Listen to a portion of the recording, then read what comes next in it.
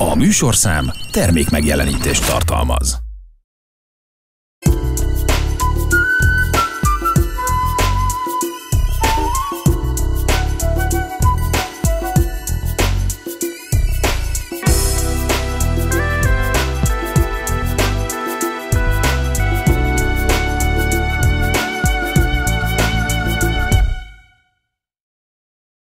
Szép jó estét kívánok! Köszöntöm kulturális magazinunk a Paletta nézőjét február 27-én, kedden 17 óra 20 perckor. Mai adásunkban először Csóri Sándor emlékmű est történéseiről láthatnak egy beszámolót, majd ellátogatunk a Balett Színház nyílt napjára, végül pedig egy tudósítás következik a 75 éves táncegyüttes ünnepi programjairól. Tartsanak velünk!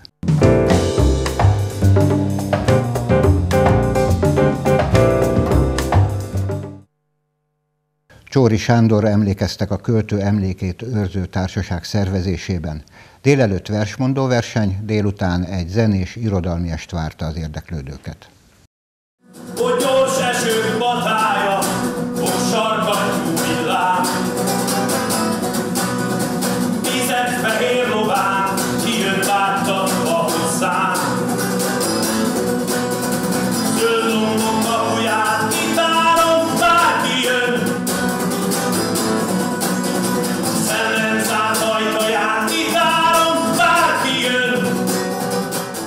Második alkalommal rendezték meg Székesfehérváron a Csóri Sándor Csanád Imre versmondó és verséneklő versenyt, amelynek a Szent István Művelődési Ház adott otthont.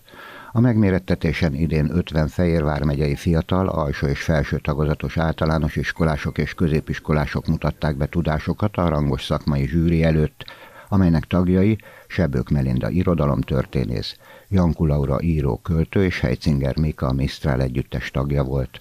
A színvonalas megmérettetés, ahol minden fellépő győztesnek valhatta magát, megerősítette a két zámoi születésű költő munkássága, a magyar irodalom kincse ma is.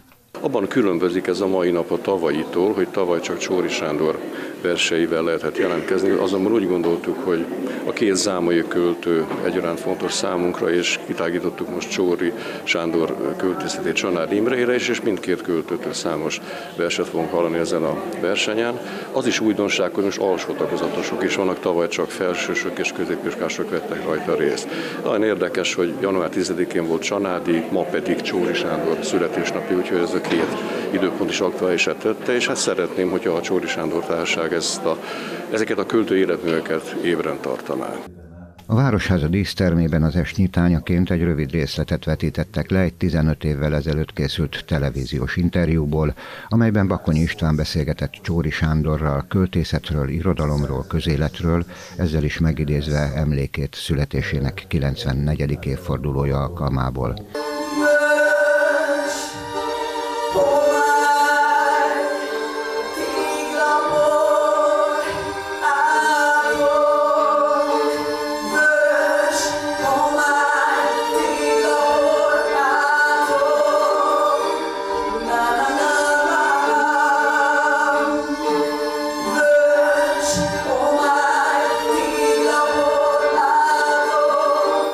Ezt követő műsorban a Csóri Sándor Társaság és a Szent István Művelődési Ház meghívására érkező hallgatóság Szirtes Edina Mókus zeneszerző hegedűművész, Lutter Imre előadóművész és a Tárnok Ákos vezette Kákics együttes előadásában hallgathatta meg az ámai születésű költő műveit. Tisztelgés, tisztelgés a Vármegye, Székesfehérvár és az itteni irodalmat, az értékeket kedvelő közösség részéről, és igen, tisztelgés az is, hogy erre a születésnapra, erre a megemlékezésre itt kerül sor Városházánk dísztermébe. Csori Sándor elhunytát követően Bakonyi tanár úr, illetve Vakler annak keresett meg azzal, hogy nekik van egy elképzelésük arra nézve, hogy létre szeretnének hozni egy Csori Sándor emlékét ápoló közösséget, szervezetet pont annak az érdekében, ami ma este történni fog itt a Városházán, hogy megőrizzék az emlékét, és emlékeztessék a nagy közönséget is, nem csak azokat, akik itt vannak, hanem akik a következő órákban, napokban erről az eseményről hírt kapnak, és talán elővesznek egy csóri költeményt, elolvassák, kicsit elgondolkodnak, vagy esetleg a média és az internet segítségével egy, egy korábbi beszélgetést vele meghallgatnak. A szellemembere volt, a nagybetűs szellememberei a szellem és az ember tekintetében is erről szól az ő érték, és ezért fontos, hogy őt tovább vigyük és ápoljuk ezt az emlékét. Az est házigazdája Bakony István József Attila Díjas irodalomtörténész, a Csóri Sándor Társaság elnöke, a magyar kultúra lovagja köszöntőjében kiemelte a költő és az ember szellemi hagyatékát, ami máig elkíséri a közélet és a kultúra szereplőit. Csóri Sándor valóban minden fronton helytált, és többek között erre a személyiségre, erre a költőre, erre a közéleti emberre is emlékezünk ezen a Csóri Sándor e, e, emlékesten. Nem csak irodalom, hanem zenével is, hiszen az életpályájának fontos része volt a népzene, népköltőszet kutatása is. Természetesen elsősorban a költővel foglalkozunk mi itt a Csóri Sándor Társaságban, viszont sikerült olyan e, előadókat megjelennek az ügynek, mint Szirtás Edina Mókus, illetve Luther Imre a kiváló versmondó és a Kákis zenekar, úgyhogy úgy gondolom, hogy a testvérmúzsák találkoznak ezen a délutánon, plusz a délelőtti versmondó verseny győztetését is köszönhetjük. Nagyon fontos számunkra Csóri Sándor, és tudjuk, hogy a társaság mindent megtesz azért, hogy az az életmű nem erüljen feledésbe. Ez egy folyamat része? Azt gondolom, ez egy folyamat része, igen. Nem csak Csórival, hanem Csanád Imről is igyekszünk minél inkább foglalkozni. A jövőben szeretnénk ugyancsak hasonló esteket szervezni, illetve olyan kiadványokat is kiadni, amelyek ezekkel az életművekkel foglalkoznak.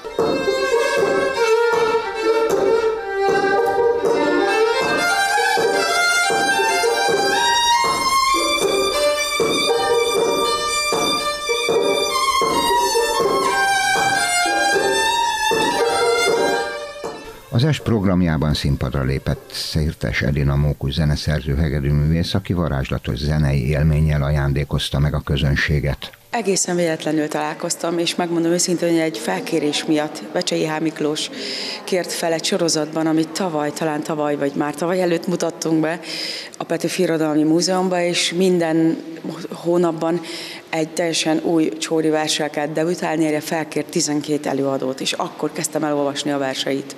És azonnal lecsaptam az Ördög Pille című versre, ami ami azonnal megérintett, és elkezdtem énekelni. Úgyhogy ez került fel a lemezre, és ezt mutattam be ott, akkor volt ennek a versnek a premierje a Peti Filoralmi Múzeumban, és ott, ott beszéltünk sokat arról, hogy micsoda fájdalom, és elképesztő nagyon nagy mélység, és nagyon nagy elmondhatatlan szorongás és belső feszültség van a versben. Hát már a cím egy ördögpille, és akkor megtudtam a hozzátartozóitól, akik még élnek, hogy jól éreztem, hogy ez nagyon súlyos időszakról szól ez a vers.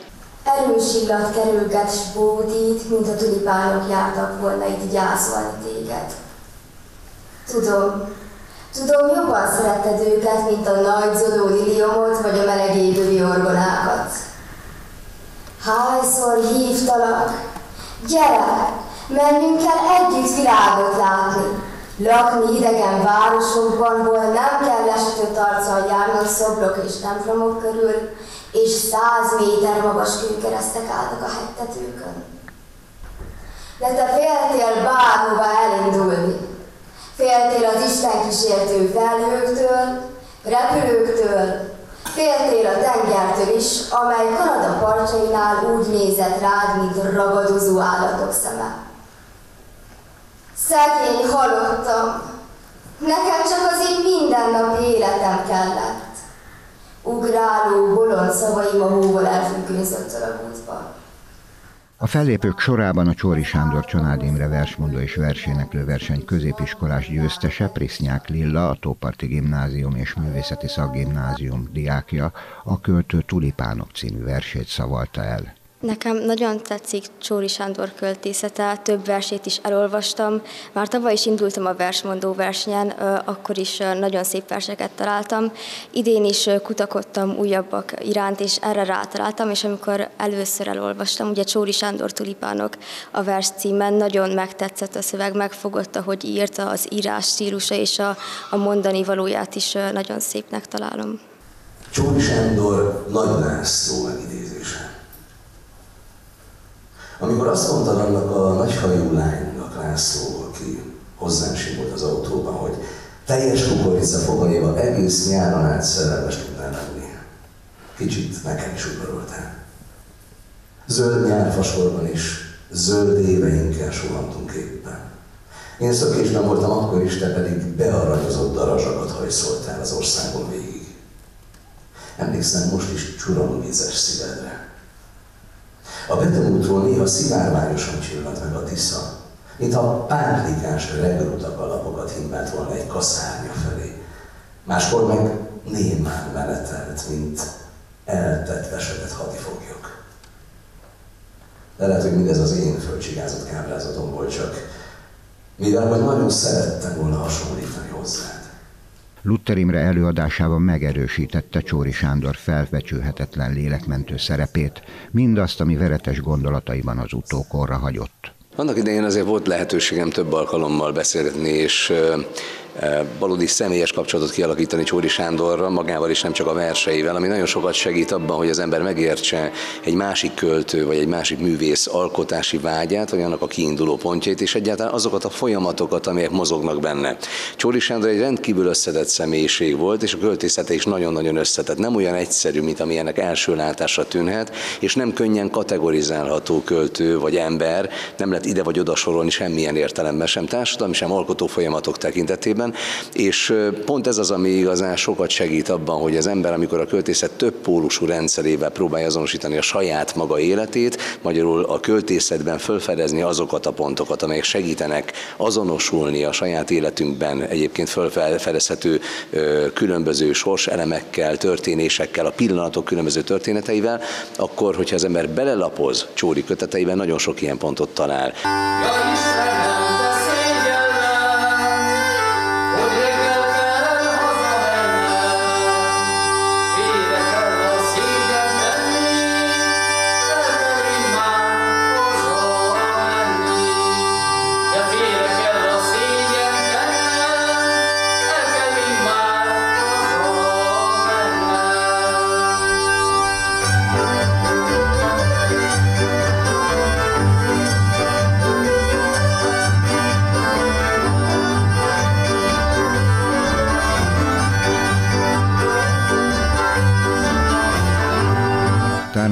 és a Kákics együttes műsorában azt a küldetést fedezhette fel a közönség, amely a költői munkásságának egyik kiemelt része a Kárpát-medence népi kultúrájának megmentése volt.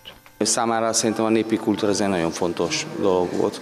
Ő is, ő is Zámolyról egy, egy paraszt családból származott, amely, amely hát a paraszti kultúrája az, az, az ott, ott, nőtt, ott nőtt fel abban, és hát ő neki a határon túli magyarok azok az, az a szívügye volt. Így, így kerültek bele olyan dallamok, most amit válogattunk, hogy erdélyi dallamok is, moldvai is, a legtávolabb érő magyarok, és, és az ő szülőföldjének, Vértes Ajának a, a népzenéjét is elhoztuk, amit, amit 1953-ban Csanád Imre és Varjas Lajos gyűjtött Zámolyon. A költészet és a zene találkozási pontjait felvonultató találkozó méltó emléket nyújtott minden résztvevőnek, megerősítve, hogy Csóri Sándor életműve a felgyorsult világban is kivételes érték.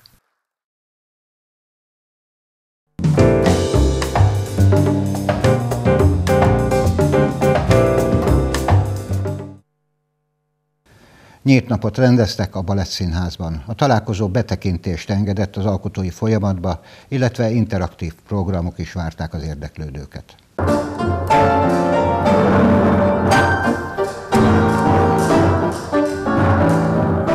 Zsúfolásig megtelt érdeklődő táncbarátokkal szombaton a Székesfehérvári Balett Színház Kaszap István utcai székháza.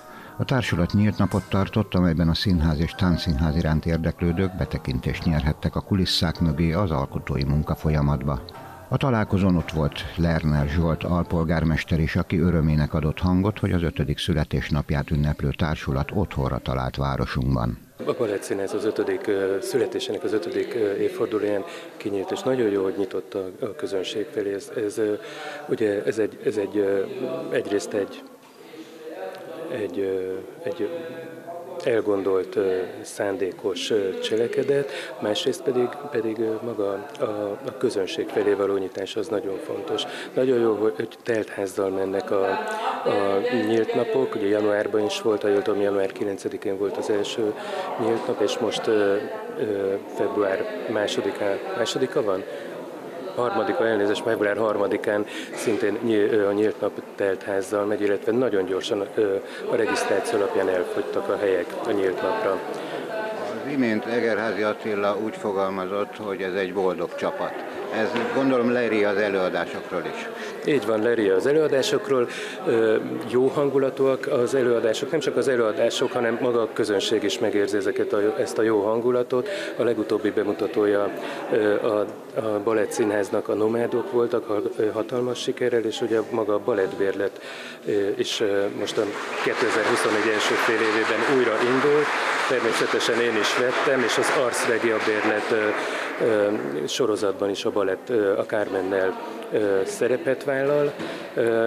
Szépen fogynak a balettbérletek, és teltházas előadások vannak. Már egy előadás lement, és az teltházzal ment. Ez nagyon jó volt látni, és nagyon jó volt azt látni, hogy, hogy a közönség együtt él szinte már a, a balettal. Nem nagyon nehéz, nem egyszerű dolog egy, egy városban meghonosítani a balettet. Nem csak magát a balettműfajt, hanem a kortárs táncműfajt.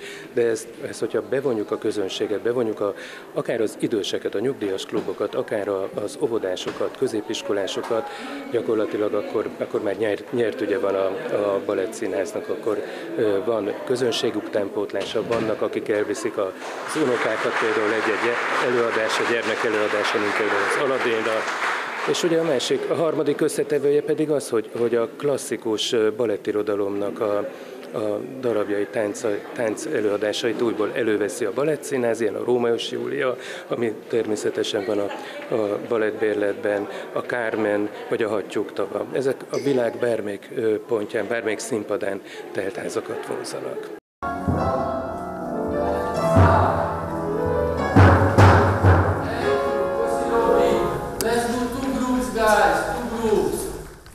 Hangulatos találkozón a beavatottak láthattak egy részletet a Hattyúk tava előadásból is, illetve megtekinthették a nagy sikerű előadási jelmezeit.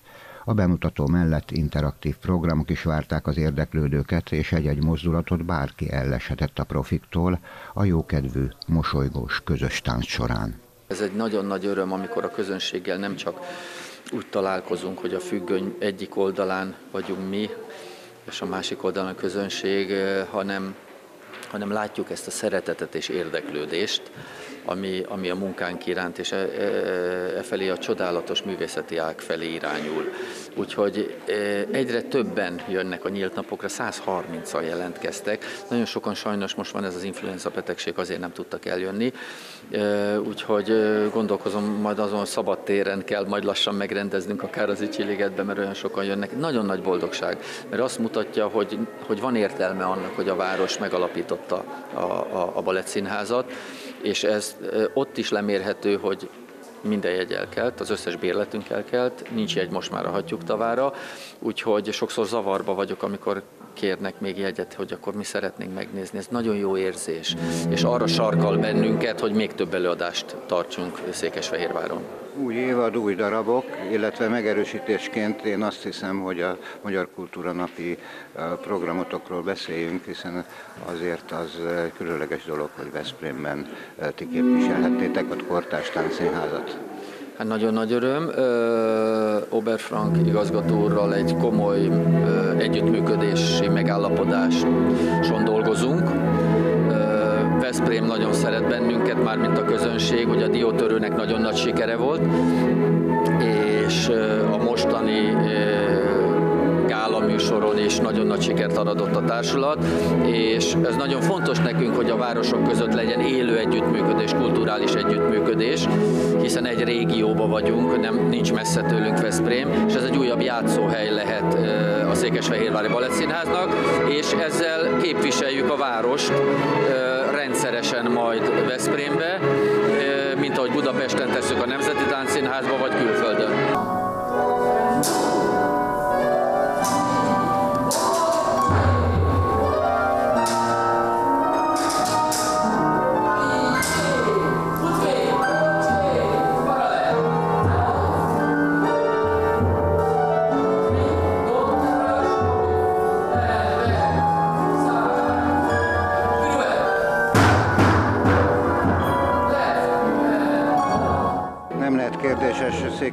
Székesfehérvár kulturális életének egyik talpontja a Balett Színház. Ennek tükrében nyilván az is sokat jelent, hogy az Alszrégia bérlet keretében most egy olyan programsorozat következik, ami példátlan. Igen, szerintem egyedülálló, ami az országban, ez egy, egy egyedülálló dolog a, a Vörösmarty Színház kezdeményezése, hogy a város összes kulturális intézménye, illetve kulturális csoportja egy bérlet keretében megmutatkozik a fehérvári közönség előtt. Ez egy, ez egy nagyon, nagyon jó dolog. Egyébként nekünk is nagyon sokat jelent, hiszen még ismertebbé teszi az öt éve működő balettszínházat, ami relatívan sok, de az egy balettszínház életébe kevés. Tehát tíz évről tíz évnél kezdődik az, hogy, hogy ismert lesz egy balettszínház. Mi ezt öt év alatt el tudtuk érni, ez egy csapatmunka eredménye, és én ennek nagyon örülök, hogy a Vörös Marti Színház is ajtót nyit más műfajok felé. Ez szerintem példaértékű és remélem, hogy majd követik más városok is, bár nem minden városnak van ennyi kulturális intézménye vagy kulturális csoportja, mint Székesfehérvárnak, ami nagy büszkeség és nagy öröm, és ezt, ezt, ezt a gólt ezt belőjük a hálóba, mert ott pattog a labda előttünk, és ezzel a bérlettel azt, azt hiszem, hogy gólt lőttünk. Nincs kétségem felőle, hogy megerősítés jelent az is, hogy most ugye a háttérben Krisztina Porrez Mormeneo művészeti vezetőként próbát tart, de itt is felhangzott a taps. Igen, hát a, a taps egy fontos eleme a mi munkánknak, ez is egy visszacsatolás. A táncosok is sokszor megtapsolnak egy balettmestert vagy egy próbát, az az, az ünnep.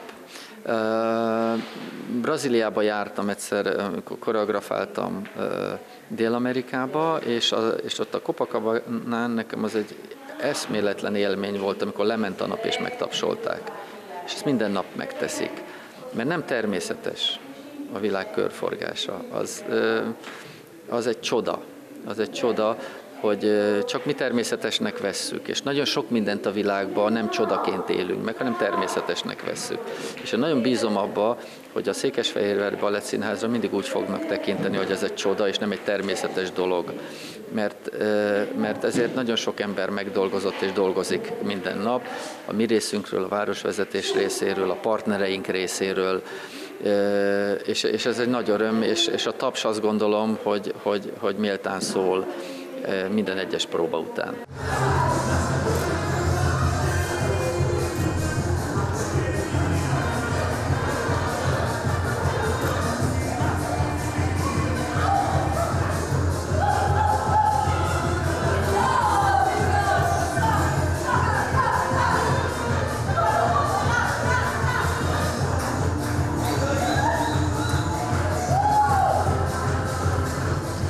Egerházi Attila még elmondta, elkötelezettek abban, hogy a balettművészet kedvelői számára olyan programokat tervezzenek, amelyekben folytatva missziójukat mindenki megismerheti egy-egy előadás megszületésének kulisszatitkait, a táncosok mindennapjait.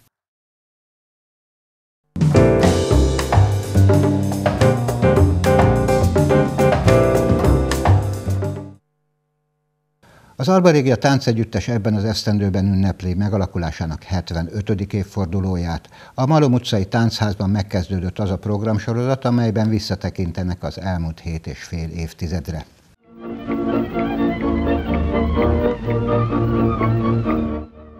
Moonroots című 1997-ben készült dokumentumfilm vetítésével szombaton a Malom utcai táncházban folytatódott az idén 75. születésnapját ünneplő Alba Régia táncegyüttes jubileumi program sorozata.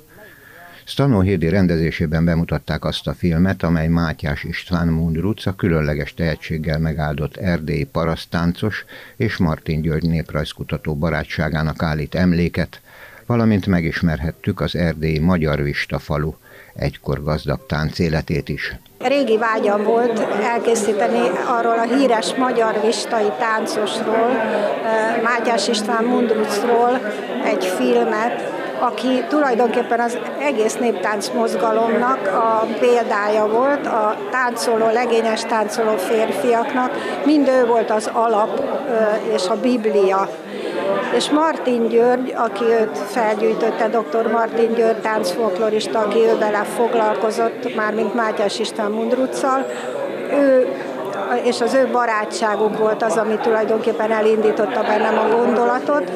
Sajnos, amire a film forgatására sor került, ez egy pályázati pénzből készült film volt, addigra meghaltak mind a ketten. Úgyhogy ez egy poszthumusz film, viszont szerencsémre dr. Martin György özvegye Borbély Jolán néptánckutató még élt, és vele jártuk végig tulajdonképpen azokat a stációkat, amik ennek a két embernek a fantasztikus, mindkettőjük életén végighúzódó barátságát jelentette.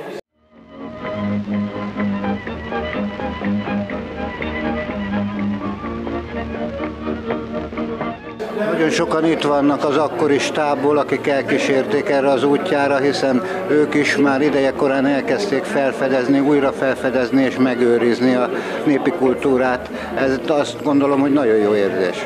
Igen, az a jó érzés, hogy van egy olyan társaság, egy olyan csapat, amelyiknek a tagjai kitartanak egymás mellett most már hát szinte 50 éve, Például az operatőröm mondanám, akivel együtt csináltuk ezt a filmet is, és sok másikat is, Dénes Zoltán, ő gyakorlatilag a gyerekkoromtól a barátom, és később aztán alkotótársam, de a későbbi férjem Székely Levente is, aki primásként kezdte a pályafutását, ő is részese volt a filmkészítésnek, sőt az a fütty, ami a film bevezető zenéje, az, az, az őtőle van, azt ő fütyülte alá a film alá, mert hogy Mundruc, vagyis Mátyás István Mundruc, akiről a film készült, ő híres volt arról, hogy nagyon jól fütyült legényes dallamokat. 75. születésnapját ünnepli ebben az esztendőben az Alba Régia Táncegyüttes, és én azt gondolom, hogy azok a nívós programok, amelyek megmutatják a múltat, példát adnak a jövőben. Így van, és ez az együttes az országnak tulajdonképpen az egyik legjobb együttese, és nem azért mondom, mert most itt állok a Székesfehérvári Televízió mikrofonja előtt, hanem tényleg komolyan hiszem, és komolyan látom több évtizede, micsoda fantasztikus munkát végeznek ezek a, az emberek, mindazok, akik mindig is vezették az együttest, egy olyan közösség alakult itt ki, több évtizede tartja magát, amelyik talán ritka ritkaságnak számít a magyar néptánc életben, és azt gondolom, hogy ennek az origója, ennek az egész együttesi létnek Pesovár Ferenc, aki ugye itt dolgozott és itt is gyűjtött Székesfehérváron, szintén néptánckutató volt, és ő meghatározta az együttesnek az arculatát egy bizonyos időszakban. Az ő tanítványai, majd azok a tanítványai, azoknak a tanítványai, majd a következő tanítványok, tehát több évtizede, most ugye Majoros Robert a művészeti vezető, ők mind ugyanazt a szellemiséget képviselik és nagy-nagy tehetséggel és eredményekkel végzik a munkát. A jó Isten áldja meg őket ezért. A film bemutatót követte a Szóbeszéd című beszélgetés műsor, amelyben Juhász Zsófia Táncegyesület elnöke és Majoros Robert az együttes művészeti vezetőjének moderálásával egy legendás generáció táncosai, zenészei találkozhattak, hogy kötetlenül visszatekinthessenek, beszélgessenek az együtt megélt csodákról. Az est vendégei ezúttal Török Sándor, Gazdag Béla, Knejfel Imre, Kuruc Pál, Kuruc Zsuzsa és Bécsiné Krémer Ágnes voltak. Gondolat onnan jött, hogy ilyet még nem csináltuk, és hogy próbáljuk ki ezt is, hogy egy picit ilyen sószerűen a 75 évnek az egyik generációját ö, kiválasztva. Ez a generáció, ez a 70-es, 80-as évek generációja, ennek a generációnak az ikonikus alakjait, vezetőit, szólótáncosait, olyan alakjait, akik tudjuk, hogy nagyon jó történeteik vannak, őket szólítottuk meg. Volt egy vasárnapi összejövetelünk, ahol így átbeszéltük, hogy mit is fogunk csinálni. Három órásra sikeredett ez a beszélgetés, nagyon tartalmas és nagyon izgalmas dolgokat hallottam megint tőlük. Én szerintem, ha annak tényleg csak a töredékét itt újra elő tudják adni, meg tudják fogalmazni, akkor, akkor tényleg elérjük azt, hogy a 75 évet úgy tudjuk ünnepelni, hogy visszatekintünk, de élményszerűen, élményszerűen szeretnénk visszatekinteni. Nincs kétségem felül, hogy így lesz annál is inkább, hiszen bár azt gondolom, hogy ők táncban is el tudnák mesélni ezt az időszakot, de azért felidézni szóban is jó. Olyannyira, hogy ma délelőtt, vagyis hogy kora délután volt már egy próbánk velük éppen, úgyhogy ők próba után egy picit hazamentek, átöltöztek. Név szerint Krémer Ági, Kuruc Zsuzsa, Kuruc Pali, Török Sanyik, Nejfel Imre és Gazdag Béla, ők lesznek a beszélgető partnereink, és igazából ők, ők a mai napig aktívak, mind a zenélésben, mind a táncolásban, és aktívak azokban a történetekben, amiket, amiket a múltkor is megosztottak velünk, és szerintem ma este is nagyon, nagyon vidám történeteket, néha megható, de főleg vidám történeteket fognak nekünk mesélni. A táncegyüttes programsorozata természetesen folytatódik, a Malom utcai táncház minden szombaton várja a népi kultúra barátait.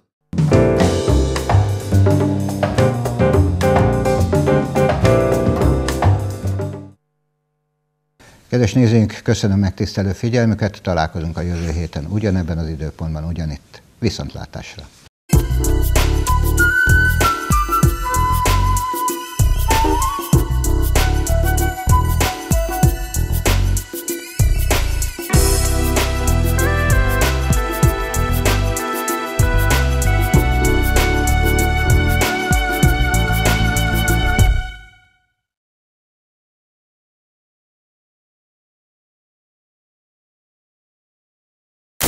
Műsorszám termék megjelenítést tartalmazott.